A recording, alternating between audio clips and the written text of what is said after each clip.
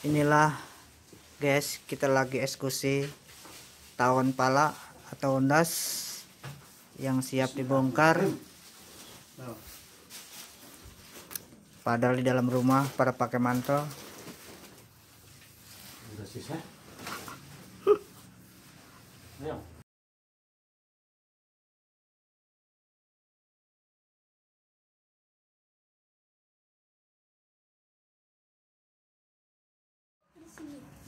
Ngincerin ya.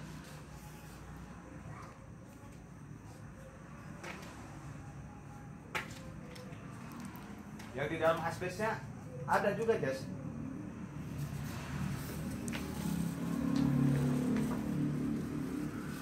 mau langsung pop Pelan dikit-dikit dulu, Jas.